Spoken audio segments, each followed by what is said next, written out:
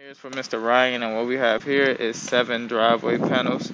Pretty much the goal would be to get them um, all up, and we'll get these first few here up, one, two, three, up, pitched away from the foundation, and leveled to the surrounding concrete to the best of our ability.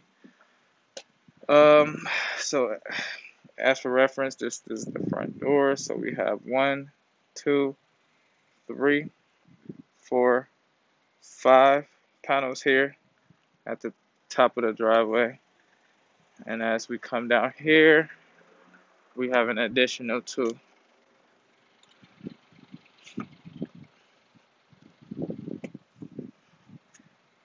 Here, we want to correct this lip here. So all in, the total for this job would be 1,600. That's one thousand six hundred dollars, and that does include a ten percent discount. No other services were included. Thank you for choosing Mr. Level.